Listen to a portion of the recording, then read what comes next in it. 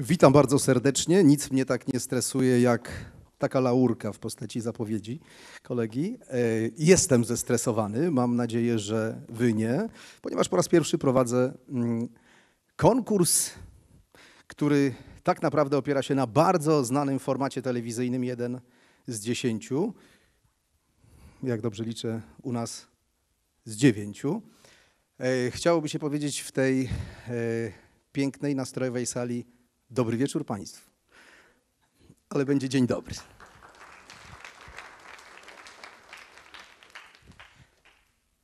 Przede wszystkim witam bardzo serdecznie uczestników. E, Chylę czoła. Dostać się do finału konkursu o tak trudnej tematyce. Jako nauczyciel historii, a także wiedzy o społeczeństwie, wiem, jak trudno dotrzeć do młodego widza e, z taką tematyką w sposób interesujący. Tym bardziej rozumiem wszystkich, którzy mają czasami nie lada problem, by zgłębić, strawić i zapamiętać informacje dotyczące właśnie działalności samorządów, funkcjonowania samorządów i praw, jakie y, nimi rządzą. Jeszcze raz wyrazy uznania z mojej strony dla Was, a za chwileczkę przystąpimy do rywalizacji. Szanowni Państwo, konwencja wymusza stosowanie się do y, zasad, formuły już dawno opracowanej, ale my wprowadzamy y, w części pierwszej element, który ma mieć charakter nieco rozluźniający, odstresowujący, a zatem pierwsza seria pytań to będą pytania, y, które mają Was wdrożyć w dalszą część konkursu, ale nie będą pociągać za sobą skutków w postaci ewentualnego odpadnięcia. Rozumiemy się? Przypomnę jeszcze raz zasady konkursu. Pierwsza i druga część trzeciego etapu ma formę gry dydaktycznej. Y, Każdy z finalistów odpowiada na pytania. Ja te pytania mam tu w garści, jest ich dość dużo, z trudem je obejmuję, ciężka ta wiedza. Następnie w dwóch pierwszych seriach prowadzący, czyli ja, zadaje pytania po kolei, zaczynając od Grzegorza i kończąc na Paulinie. Odpowiadacie na te pytania bez konsekwencji, ale myślę, że już po tych dwóch pierwszych seriach zorientujecie się, że trudna przeprawa przed Wami.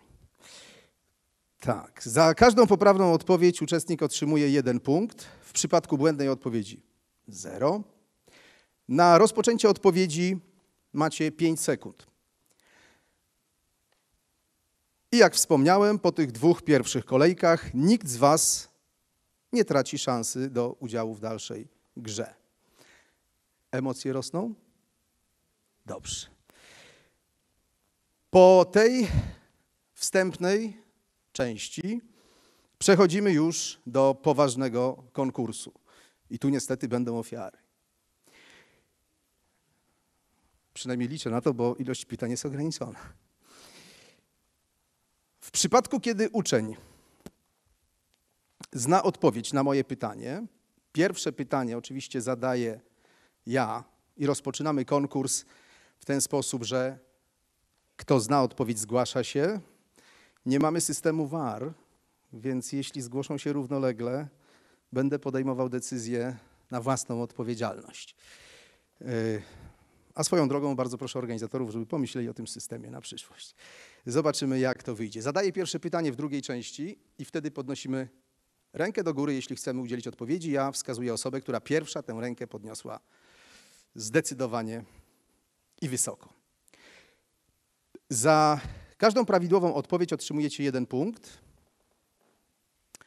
Natomiast odpowiedź błędna bądź nieudzielenie jej w terminie przeznaczonym na odpowiedź, czyli 5 sekund, będzie zaznaczona przez panią Katarzynę przekłuciem jednego z baloników. Te trzy balony to trzy wasze szanse. E, pompujemy teraz ten balonik, prawda? Moi drodzy, po udzieleniu poprawnej odpowiedzi, odpowiadający może kolejne pytanie wziąć na siebie bądź wskazać koleżankę lub kolegę, która, który będzie musiał się zmierzyć z następnym pytaniem. Uczestnik, który trzy razy nie udzieli poprawnej odpowiedzi, odpada z gry. Pierwsza część kończy się, kiedy w grze pozostaną trzy osoby. Uczniowie ci przechodzą do drugiej części trzeciego etapu naszego konkursu, zachowując liczbę szans taką, z jaką zakończyli część pierwszą. Do tej liczby dodaje im się trzy dodatkowe szanse. Pani Katarzyno, tu chyba będę prosił o pomoc. Wydaje mi się, że dla mnie zbyt skomplikowany ten regulamin finałowy. Czy jesteśmy gotowi, Państwo? Słyszę za plecami nie, czyli trzymają się żarty naszych finalistów, to dobrze. Jeszcze jedna uwaga i moja bardzo serdeczna prośba. Wiem, że siedzący tu na widowni mają wiedzę wcale nie mniejszą niż ci, którzy siedzą za mną, a więc bardzo proszę, jeśli znają Państwo odpowiedź na pytanie, zachowajcie ją dla siebie, bo gdy usłyszę próbę podpowiedzi, będę musiał anulować to pytanie. Rozumiemy się. Bardzo serdecznie dziękuję. Możemy zatem przystąpić do pierwszej części, części odstresowującej. Ja pozwolę sobie już zostawić tekturkę. Moi drodzy, z wszystkich programów mm, e, teleturniejowych ten chyba e, lubię najbardziej. I powiem jeszcze, że chyba ten cieszy się, mówię o programie 1 z 10, cieszy się też uznaniem z racji wysokiego poziomu e, zadawanych tam pytań, ale też i odpowiedzi poziomu przygotowania uczestników. Choć szczerze mówiąc, bardziej odstresowujący jest inny teleturniej, w którym prowadzący zaczyna zawsze od czego? No to opowiem Wam taki dowcip. No nie, ja nie będę opowiadał dowcipów, aczkolwiek z panem Karolem Strasburgerem miałem kiedyś przyjemność uczestniczyć w pewnym przedsięwzięciu i tam on rzeczywiście rozpoczął to od dowcipu. Proszę Państwa, a my przechodzimy już do bardzo poważnej serii pytań. Możemy? Będzie jakaś muzyka? Nie?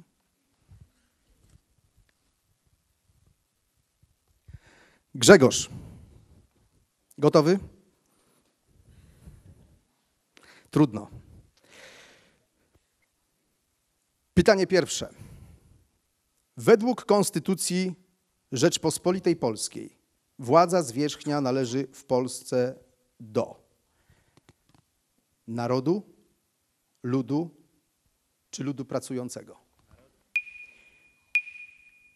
Bardzo dziękuję. To jest prawidłowa odpowiedź. Mateusz.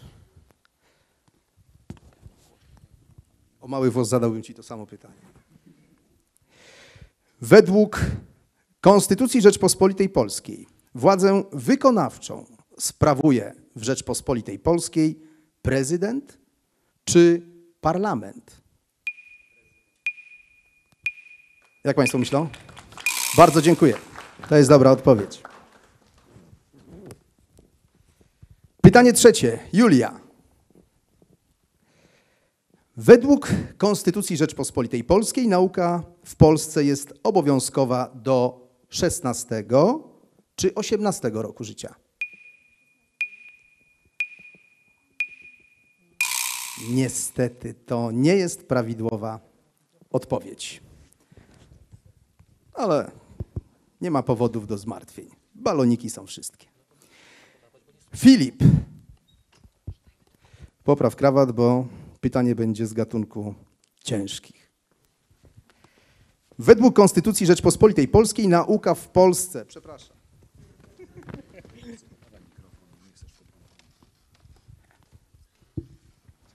To taki żart z mojej strony, to wszystko było w scenariuszu. Według Konstytucji Rzeczpospolitej Polskiej na mocy ustawy powoływany jest Rzecznik Praw Dziecka czy Rzecznik Praw Młodzieży? Rzecznik Praw Dziecka. Nie wiem.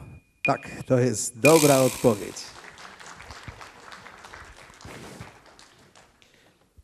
Przełożę karteczkę. Magdalena. Według Konstytucji Rzeczpospolitej Polskiej obywatel RP ma prawo wnieść skargę konstytucyjną do Sądu Najwyższego czy Trybunału Konstytucyjnego. Do Sądu Najwyższego. Niestety do Trybunału Konstytucyjnego. Bartłomiej. Trzecie elo. Według Konstytucji Rzeczpospolitej Polskiej wybory do Sejmu RP są czteroprzymiotnikowe czy pięcioprzymiotnikowe. Pięcioprzymiotnikowy. Dziękuję bardzo. To jest prawidłowa odpowiedź.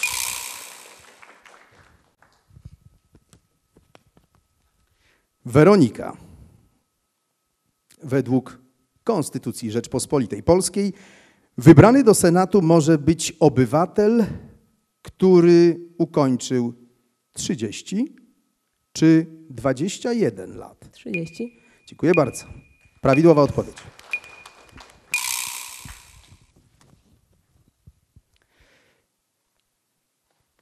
Ernest.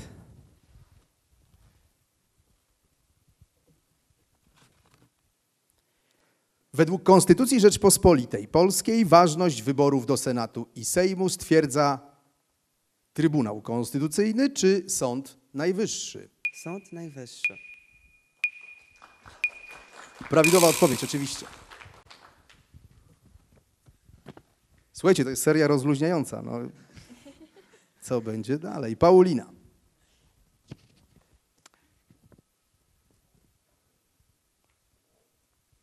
Według Konstytucji Rzeczpospolitej Polskiej władzę ustawodawczą sprawuje Sejm czy Rada Ministrów?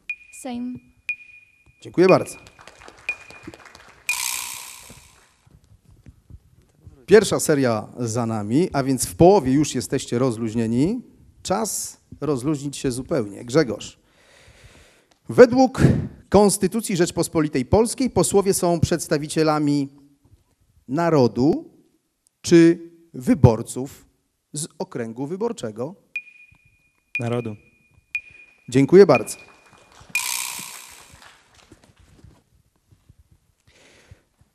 Mateusz. Jakiej liczbie obywateli według Konstytucji Rzeczpospolitej Polskiej przysługuje inicjatywa ustawodawcza? 100 tysięcy. 100 tysięcy. Bardzo dobrze. 100 tysięcy obywateli.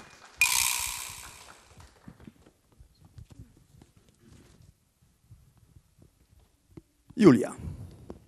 Teraz będzie łatwiejsze. W ilu czytaniach według Konstytucji Rzeczpospolitej Polskiej Sejm rozpatruje projekt ustawy? W trzech. Mówiłem, że proste. Dziękuję bardzo. Filip, chcesz to samo, czy wolisz trudniejsze? E, Poproszę to samo. Pytanie numer 13. Według Konstytucji Rzeczpospolitej Polskiej uchwalona przez Sejm ustawa przekazywana jest do Senatu, który na wydanie opinii o niej w trybie zwykłym ma czas. 30 dni. Nie skończyłem pytania, no nie liczy się. Tak, oczywiście, 30 dni. Proszę później nie przerywać prowadzącemu, dobrze. Magdalena. Weto prezydenta Rzeczpospolitej Polskiej według Konstytucji Rzeczpospolitej Polskiej może być przez Sejm przegłosowane większością trzech piątych głosów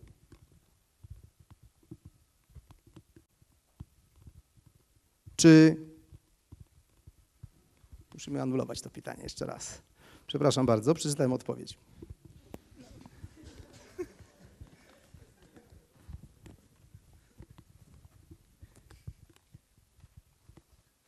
No to będzie niestety trudniejsze, no ale tak wyszło.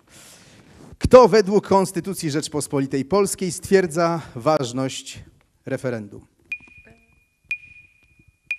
Sąd Najwyższy. Brawo.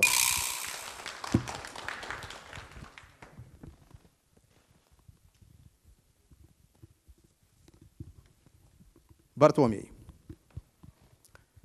Według Konstytucji Rzeczpospolitej Polskiej kadencja prezydenta Rzeczpospolitej Polskiej trwa 5 lat. 5 lat. Brawo.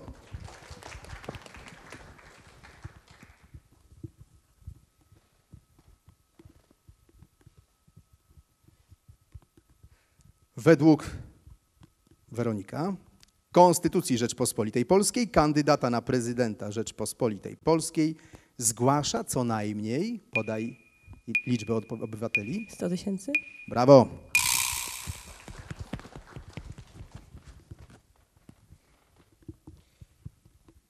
I Ernest, zupełnie rozluźniony po pierwszej serii. Według Konstytucji Rzeczpospolitej Polskiej w razie śmierci prezydenta Rzeczpospolitej jego obowiązki przejmuje. Marszałek Sejmu. Świetna odpowiedź.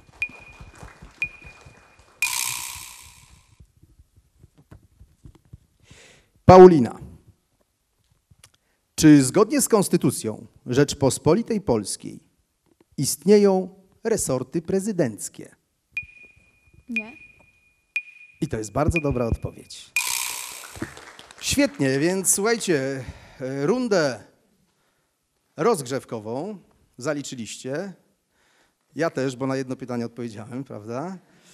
W związku z tym możemy przejść do poważnej rozgrywki.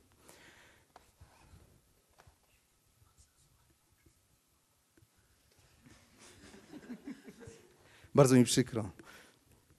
Taka rola. Ale spróbuję Was już nie zasłaniać, tak żeby kamery Was widziały. Szanowni Państwo, przechodzimy do poważnej rozgrywki.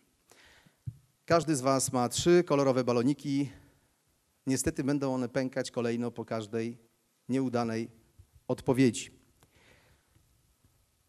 Zaczynamy zgodnie z zasadą, o której wspomniałem, że czytam pierwsze pytanie, po czym Wy startujecie do odpowiedzi, zgłaszając się przez podniesienie ręki. Napięcie rośnie. Proszę dać mi chwileczkę. Pani Katarzyno, jest Pani gotowa? Bolesne zadanie przed Panią, współczuję. Ja też jestem zestresowany.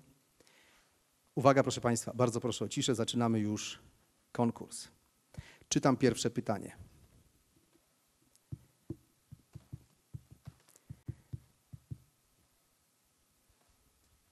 Jakiemu organowi według Konstytucji Rzeczpospolitej Polskiej podlega Najwyższa Izba Kontroli? Ernest. Sejm. Brawo! Super.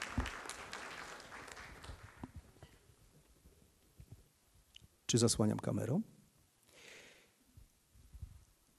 Ernest ma prawo wskazać osobę, która będzie odpowiadała w następnej kolejce.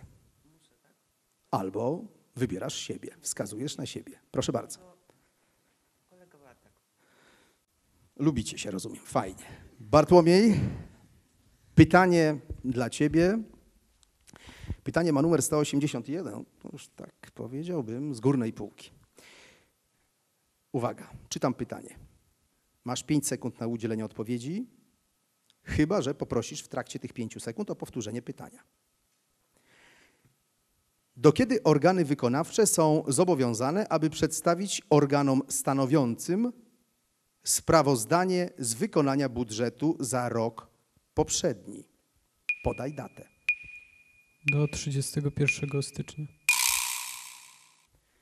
Niestety to nie jest dobra odpowiedź.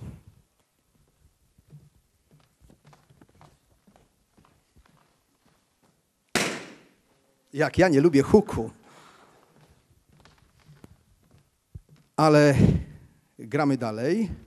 Wskaż osobę, która udzieli odpowiedzi w następnym pytaniu. Przepraszam, Ernest, oczywiście.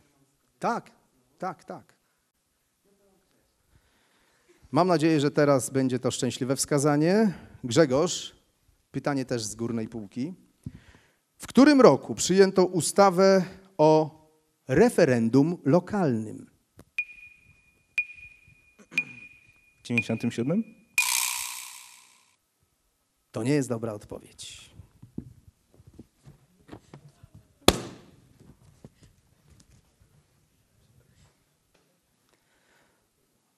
Odpowiedzi na te pytania poznacie po konkursie. Ernest, daj spokój. No. Przeznaczyłem dziś na ten konkurs trzy godziny. Proszę bardzo. Koleżanka Paulina. Paulina, czytam pytanie dla ciebie. Jak w dawnej Polsce nazywały się sejmiki, które sprawowały władzę podczas bezkrólewia? Tak, to jest dobra odpowiedź. Poczekaj chwilę. Już możesz. Mateusz. No z tym może być problem, tak?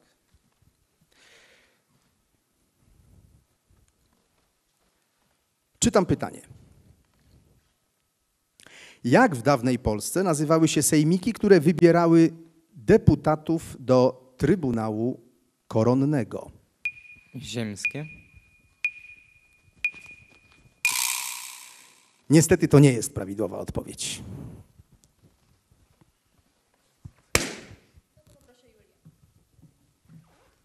Julia?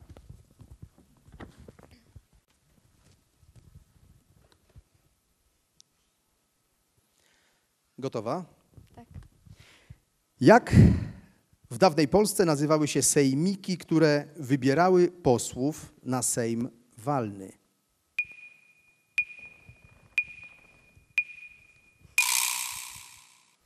Słyszałaś dzięcioła?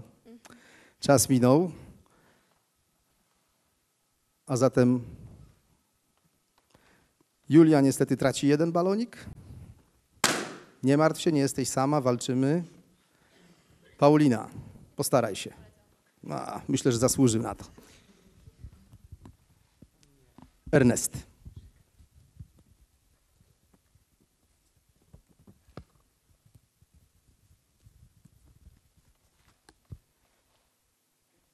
Czytam pytanie.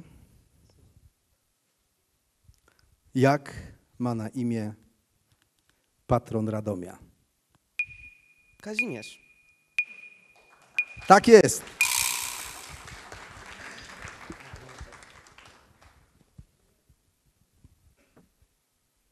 Y, Znasz taką scenę z filmu Rejs? Pani Kazimierzu, poproszę klucze. Nie, no, obejrzysz. Dobrze, możesz wskazać za tę osobę, która będzie odpowiadać w następnej kolejności. Proszę bardzo. To może Maciek.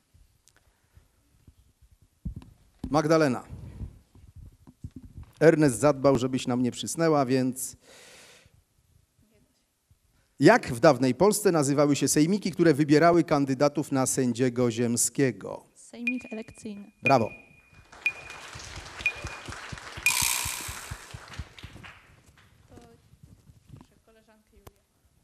Julia. Madzia z sympatii tu y, wskazała na ciebie, ponieważ myślę, że pytanie nie sprawi ci trudności. Czytam pytanie. Największe kwoty uwzględniane w budżetach gmin są przeznaczane na. Na co Oświatę. wydaje? Tak jest.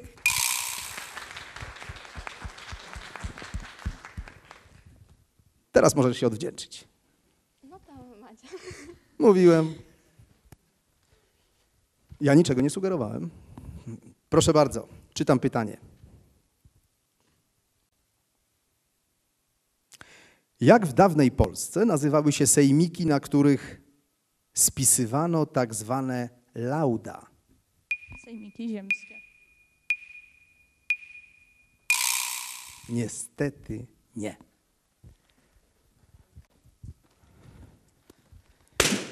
O tak. Julia, teraz, y, teraz ty rozdajesz karty. Proszę bardzo. Kto tam jeszcze ma za dużo baloników? Może Weronika. Jest Weronika. Gotowa? W którym roku miały miejsce wydarzenia tak zwanego Radomskiego Czerwca? 76. Dziękuję bardzo. Zdziwiłbym się, gdybyś nie wiedziała. Możesz wskazać kolejną osobę, proszę. No to może Julia. Julia. Wszyscy cię lubią, Julia. Widzisz.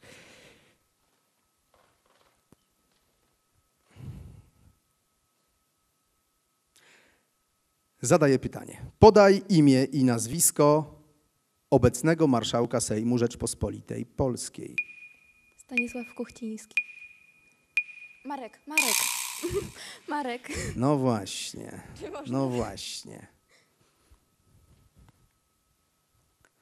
Trzeba zaliczyć.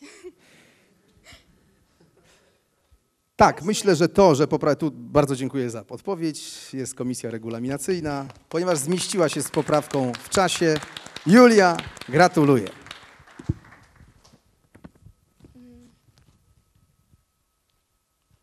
Julia, proszę. koleżanka na końcu. Nie. Koleżanka Paulina, ja może prze... przekręcę troszeczkę tę karteczkę, żebyś wiedziała, bo tak czuję, że to będzie dłuższa seria z twojej strony. E... Bardzo proszę. Czytam pytanie dla Pauliny. Rozwiązać organ stanowiący powiatu może tylko Sejm na wniosek czyj? Prezesa Rady Ministrów. Tak jest.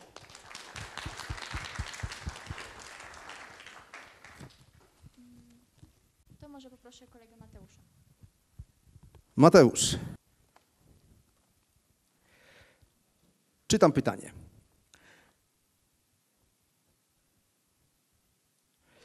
Starosta plus od dwóch do czterech członków to skład zarządu gminy, powiatu czy województwa.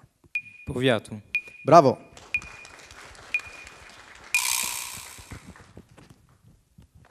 No pytania banalne, łatwe na wszystkie znam odpowiedź, więc myślę, że To dla Pauliny pytanie. proszę bardzo. Paulina, walczysz Paulinko. Masz trzy balony, tylko tak dziwnie wiszą. Ok. Proszę bardzo. Czytam pytanie. Kto sporządza projekt budżetu gminy? E, Wójt gminy. Brawo. Mm, To może kolega Bartłomiej. Bartłomiej. Czytam pytanie. Kto może stwierdzić nieważność uchwały organu gminy, jeżeli dotyczy ona spraw finansowych? Regionalna Izba Obrachunkowa. Świetnie. Y, Grzegorz. Widzę, że Grzegorz liczył, że o nim zapomnieli. Czytam pytanie.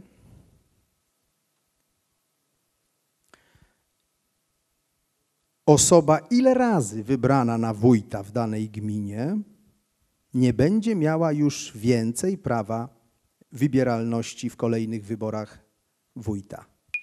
Dwa razy? Brawo.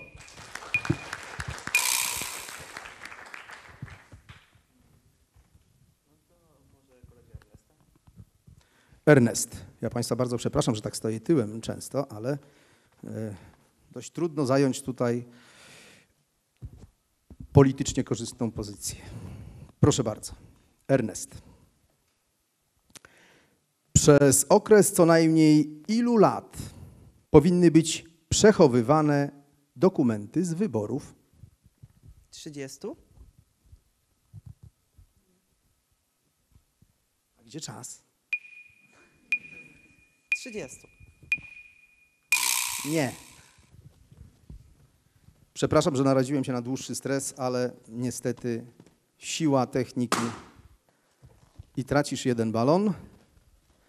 Kto wskazywał? Grzegorz. Proszę bardzo. W takim razie poproszę kolegę Bartłomieja.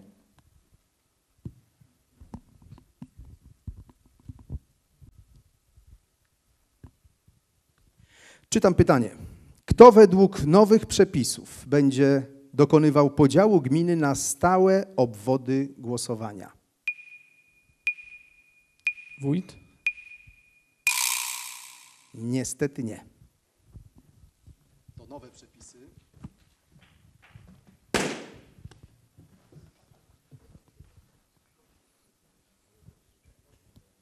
Pani Katarzyna jest bezlitosna po prostu. Grzegorz, proszę bardzo. W takim razie poproszę kolegę obok. Mateusz. Czy można utworzyć odrębny obwód głosowania w domu studenckim? Nie. To nie jest dobra odpowiedź. Czyli tak.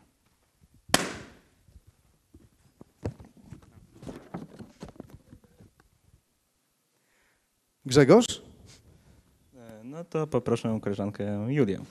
Widzę, że polubiłeś tę robotę. Proszę bardzo. Y, Koleżanka Julia jest Julia. Julia, czytam pytanie.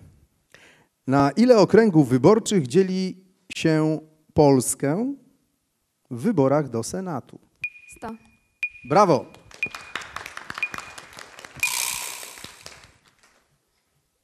Julia, proszę. Kolega Filip.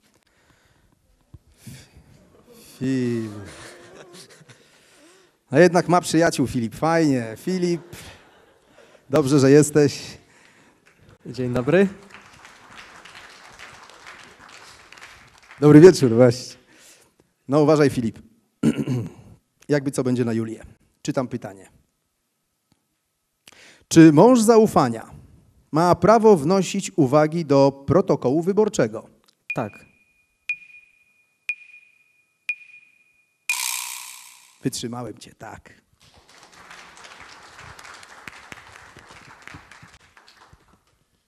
Mm, To ja poproszę kolegę Bartłomieja.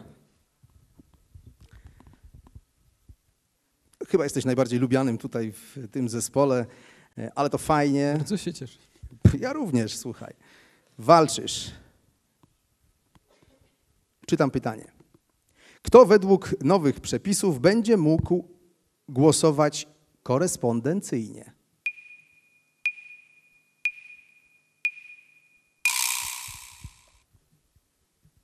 Niestety czas minął. Być może do tego pytania jeszcze wrócimy. Siła złego na jednego, Bartek. Walczyłeś dzielnie. Bardzo serdecznie dziękujemy.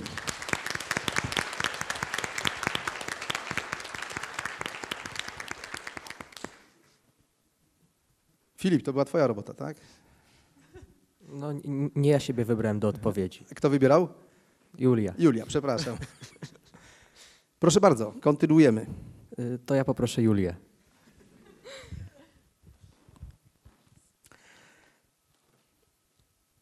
Czytam pytanie dla Julii. Która z radomskich ulic nosiła nazwę Traktu Rycerzy Zakonnych? Żeromskiego. Widziałem na Żeromskiego wielu rycerzy, ale to nie jest dobra odpowiedź, niestety.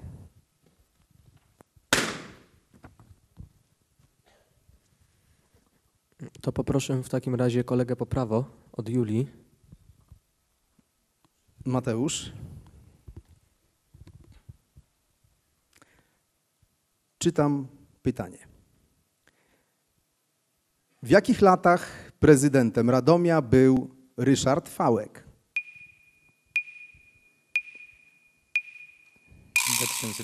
2005-2009. Niestety nie.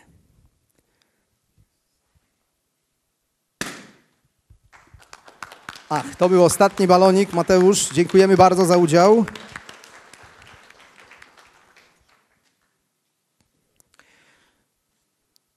Ja wiem, niektórzy wolą żywe drewno, ale zostawmy jeszcze ten obrusik na stole. Julia, proszę bardzo.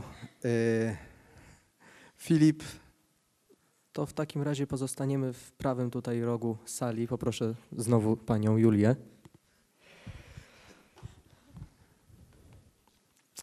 No tak to bywa, jak się nie angażuje człowieka od początku. Macie, proszę bardzo.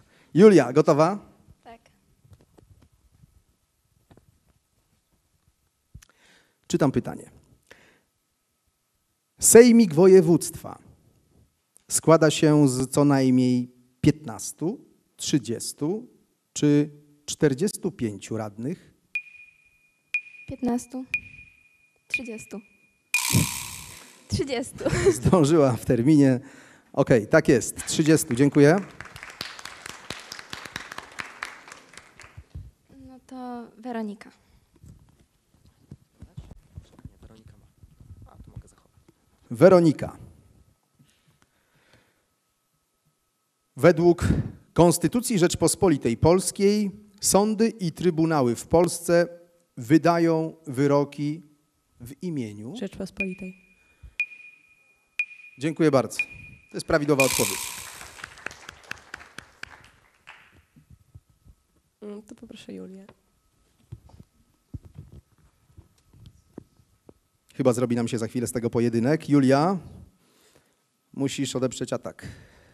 Czytam pytanie. Według Konstytucji Rzeczpospolitej Polskiej zwierzchnikiem Korpusu Służby Cywilnej jest. Premier. Brawo.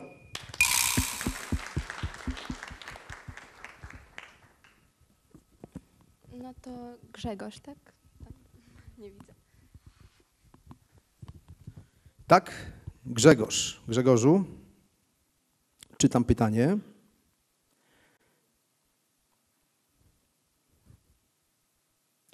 Czy parlament Rzeczpospolitej Polskiej jest parlamentem bikameralnym? Tak. Tak. Poproszę koleżankę Julię. Julia. Czy Trybunał Konstytucyjny orzeka w sprawie odpowiedzialności konstytucyjnej prezydenta Rzeczpospolitej Polskiej? Nie. To jest dobra odpowiedź. Widzę, że na widowni są eksperci, którzy wiedzą od razu. No dobrze. Y, Julia, wskaż następną osobę. Paulina.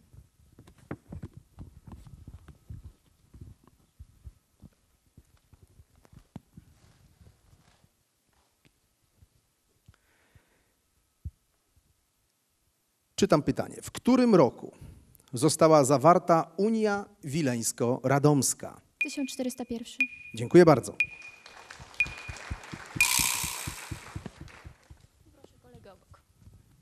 Ernest. Dawno nikt cię nie zatrudniał. Proszę bardzo. Jak nazywa się organ stanowiący akty prawa miejscowego na szczeblu gminy? Rada Gminy. Tak, tak, śmiało z tymi oklaskami. Tak jest. To ja poproszę Paulina. Czytam pytanie. Czy prezydent Rzeczpospolitej Polskiej dysponuje prawem weta absolutnego wobec ustaw sejmowych? Nie. Tak. To prawidłowa odpowiedź. Może teraz koleżanka Julia. Julia, jesteś jeszcze z nami, super. Walcz.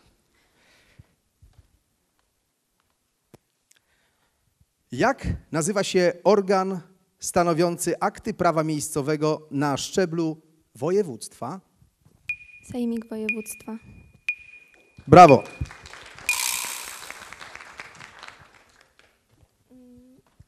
Magda. Magda. Pytanie do Magdaleny. Ile lat według Konstytucji Rzeczpospolitej Polskiej trwa kadencja Sejmu? Cztery lata. Dziękuję.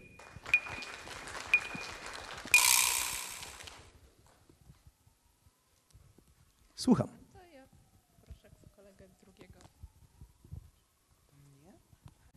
Ernest, Dlaczego ja? Masz powodzenie u dziewcząt, zatem odpowiadaj. Czytam pytanie. Według Konstytucji Rzeczpospolitej Polskiej wojewoda to przedstawiciel w terenie rządu czy prezydenta? Rządu. Brawo. Poproszę koleżankę Madzie. No, Magda, Ernest ci tego nie zapomniał. Więc uważaj, bo wybrał dla ciebie trudne pytanie. Czytam pytanie. Podaj imię i nazwisko obecnie urzędującego prezydenta Rzeczpospolitej Polskiej. Andrzej Duda. Brawo.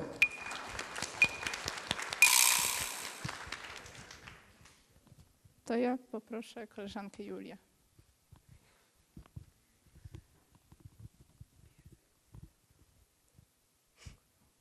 Czytam pytanie. Kto ratyfikuje i wypowiada umowy międzynarodowe? Prezydent Rzeczypospolitej. Brawo. To ja poproszę Madzia.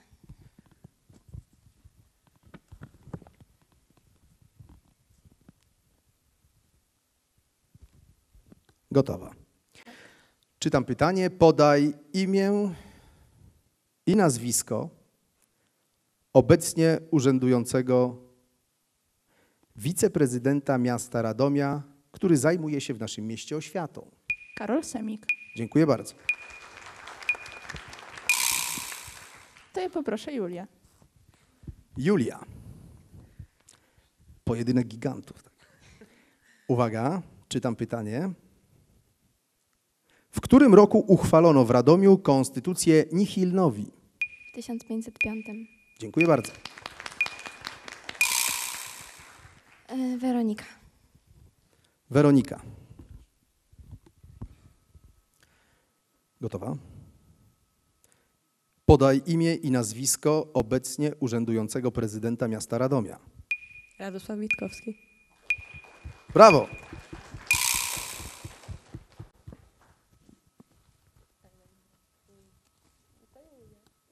Mikrofon.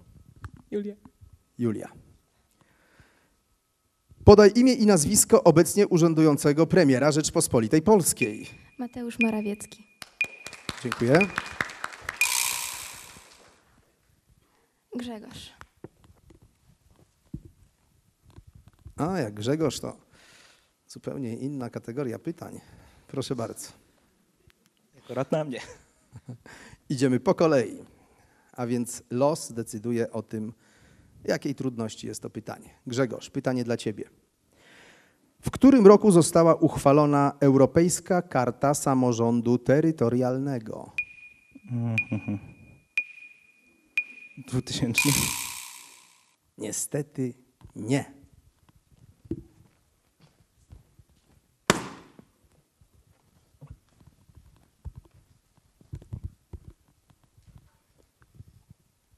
No to Filip. Filip. Ile lat musi mieć ukończone kandydat na wójta, burmistrza lub prezydenta miasta? 25 lat. Tak.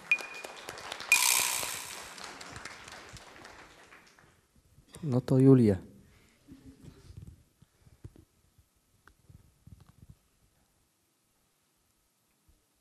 Z którego roku pochodzi pierwsza pisemna wzmianka o Radomiu? Z 1160. Niestety nie, ale wiedziałaś, że te dwie ostatnie cyfry są takie same. Sty... Nie powiem.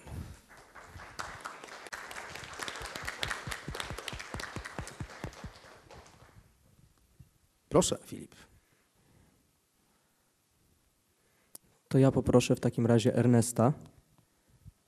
Ernest. Czytam pytanie.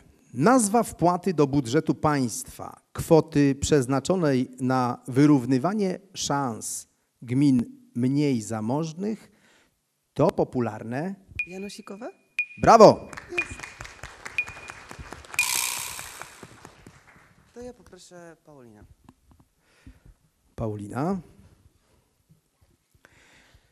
Czy według podziału terytorialnego Rzeczpospolitej Polskiej z 1919 roku gminy wiejskie były podzielone na gromady? Tak. Tak.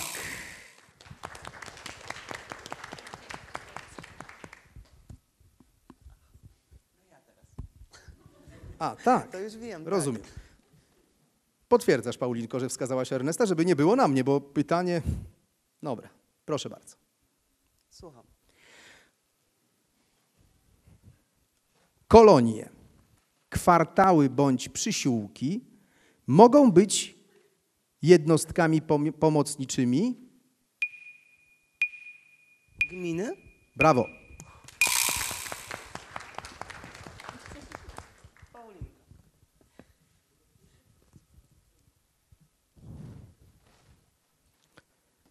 Podaj imię i nazwisko prezydenta Radomia, który pełnił tę funkcję przed Radosławem Witkowskim. Andrzej Kosztowniak? Dziękuję bardzo. To jest dobra odpowiedź. Teraz ja. Proszę bardzo, zmonopolizowali nam ten konkurs. Proszę. Czytam pytanie. Podaj imię i nazwisko prezydenta Radomia, który w okresie międzywojennym pełnił swój urząd dwukrotnie. Grześ Narowski. Jacek? Niestety Józef. O.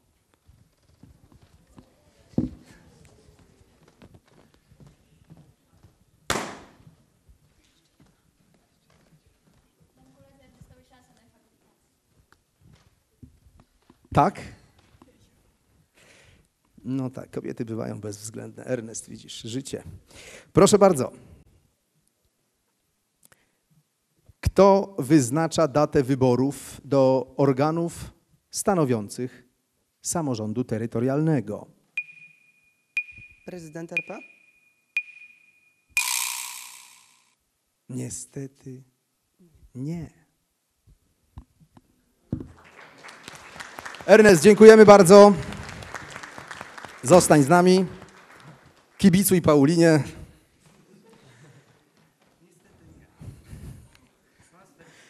Proszę bardzo.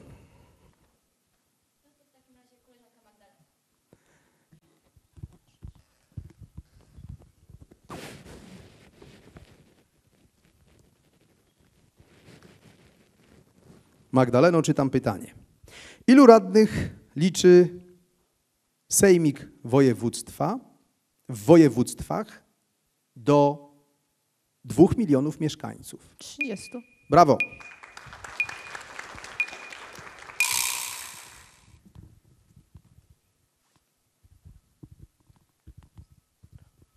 Kogo Madziu wskazałaś? Weronikę. Weroniko. Czytam pytanie. Ilu radnych liczy obecnie Rada Mia- Miasta, Rada Miejska w Radomiu? 28. Brawo. To może Madzia? Madzia. Czy w ustawie konstytucyjnej z 1935 roku był zapis o samorządzie terytorialnym? Tak był. Brawo. To ja poproszę kolegę Grzegorza. Grzegorzu, nie zapomniano o tobie. No niestety. Na takich masowych imprezach to ważne, tak? Proszę bardzo. Ilu członków Krajowej Rady Radiofonii i Telewizji wybiera prezydent? Dwóch. Tak jest.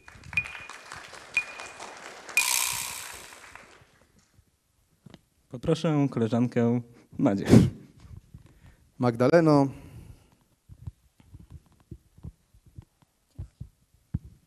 Z dedykacją od Grzegorza. Czytam pytanie.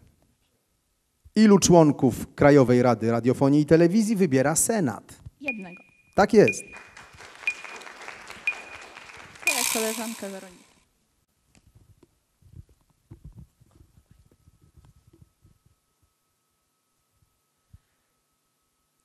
Jak nazywa się miasto dawnego Królestwa Polskiego, które jako pierwsze odzyskało niepodległość w listopadzie 1918 roku?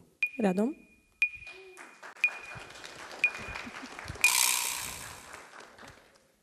Gdybyś nie odpowiedziała na to pytanie i poszłoby w TV, to dopiero byłby skandal. Gratuluję.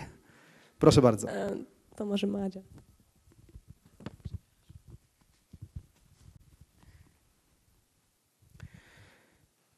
Jak nazywa się miejscowość niedaleko Radomia, w której szlachta polska otrzymała przywilej nietykalności osobistej? Przytyk?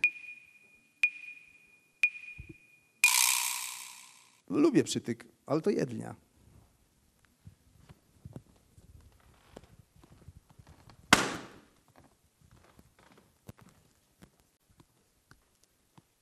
Weroniko? Głośniej, proszę. Magdaleno? Podaj imię i nazwisko pierwszej kobiety, która została prezesem Rady Miejskiej Radomia i sprawowała tę funkcję aż przez dwie kadencje. Maria Keles-Krauza? Tak, to jest dobra odpowiedź. To ja Paulinę poproszę.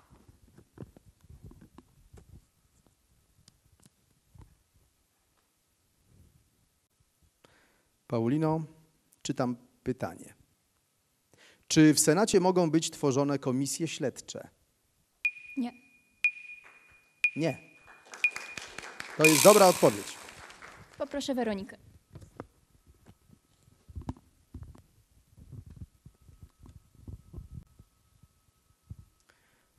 Weroniko, jak nazywa się organ, który tworzą marszałek Sejmu wraz z wicemarszałkami? Prezydium Sejmu. Brawo. To może Paulina.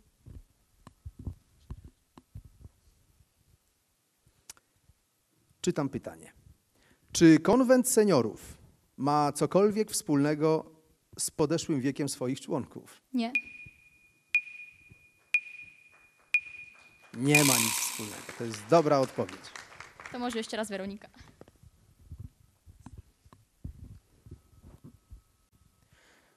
Ilu posłów minimum musi się składać na koło poselskie? Trzech. Brawo. To może Filip.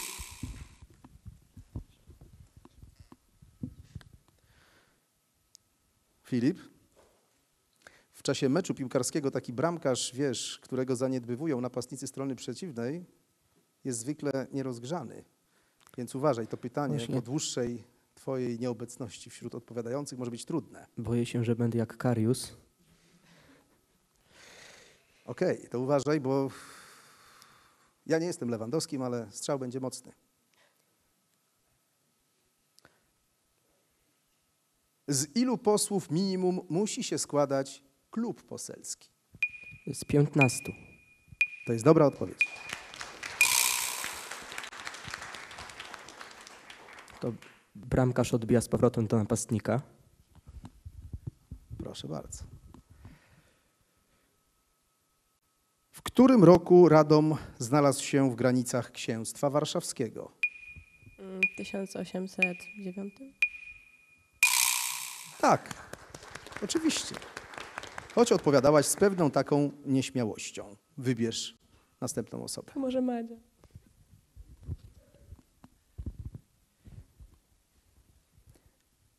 Do kogo należy tak zwany pierwszy krok przy tworzeniu rządu? Do prezydenta. Tak jest. To ja poproszę Paulinę.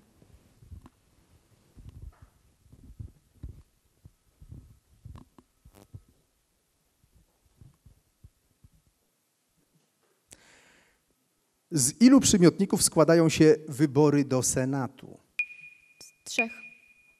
Tak, z trzech. To ja poproszę Madzie. Magdaleno? No tak to jest, jak się siada w środku. W krzyżowym ogniu pytań odpowiadasz na kolejne pytanie. Jak nazywa się przemówienie wygłaszane na sali plenarnej Sejmu w którym kandydat na premiera przedstawia swój program i skład rządu. Expose. Expose. Tak jest. To ja poproszę Paulinę.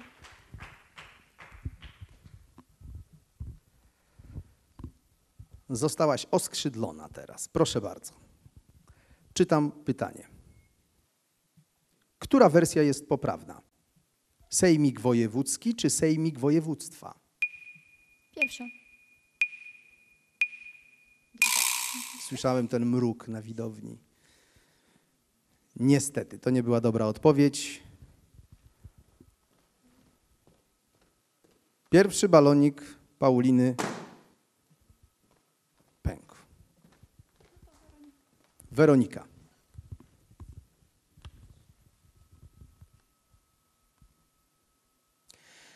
Jak nazywamy uprawnienia prezydenta, które nie wymagają kontrasygnaty? E, prerogatywa. Bardzo dobrze. Może Paulina?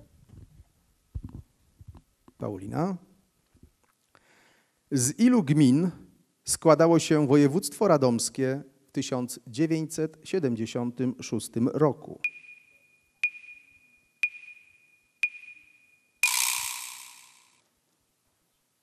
Niestety. Odpowiedź nie padła. Taka krótka czarna seria. Ale walczysz dalej. Madzia. Magdaleno zadaje pytanie.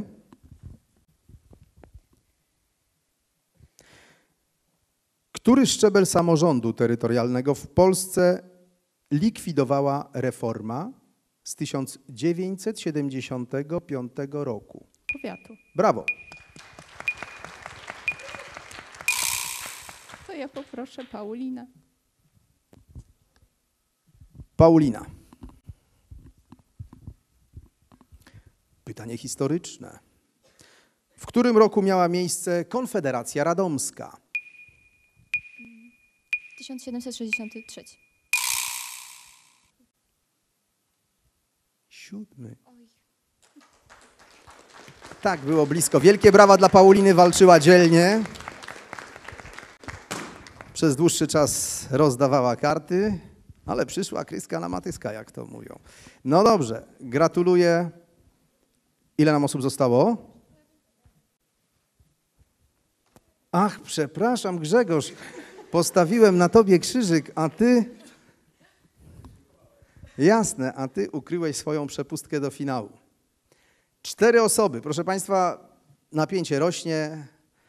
Z tej czwórki będziemy musieli pożegnać jeszcze jedną osobę, a wtedy wyłonimy trójkę, która przejdzie do ścisłego finału. Ja już jestem całkowicie spocony, emocje rosną.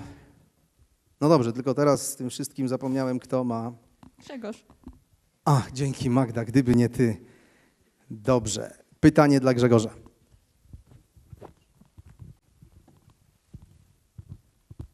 Chyba będzie pojedynek o teraz. Mm. Cios za cios. Mam nadzieję. No okej, tego nie było w scenariuszu. No dobrze, proszę bardzo. Środki przeznaczane z budżetu państwa na prowadzenie szkół to subwencje czy dotacje? Subwencje. Tak.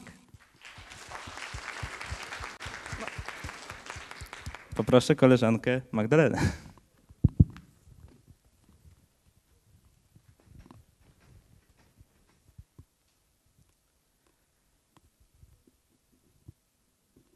Na ile powiatów dzielił się dystrykt radomski? Cztery. Niestety nie. Dziękujemy bardzo.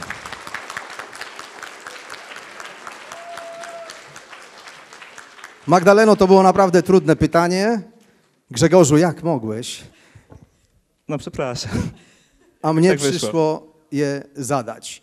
Przepraszam wszystkich, którym zadałem pytanie trudne, na które nie znaleźliście odpowiedzi.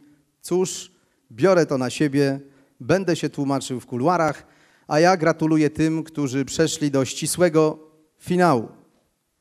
A są to. O, znowu cię przeoczyłem. Grzegorz. Filip. Oraz Weronika. Pani Katarzyno, bardzo dziękuję za bardzo skuteczne przekuwanie tych balonów. E, Czas za chwileczkę na część drugą. Osoby, które przeszły do ścisłego finału, zachowują tę ilość balonów, którym udało, y, którą udało im się utrzymać, plus dodatkowe trzy. Bardzo proszę, to będzie ten moment, kiedy przyczepimy baloniki do stolików. Jeszcze raz gratuluję bardzo, bardzo serdecznie wszystkim, którzy wystąpili w pierwszej rundzie.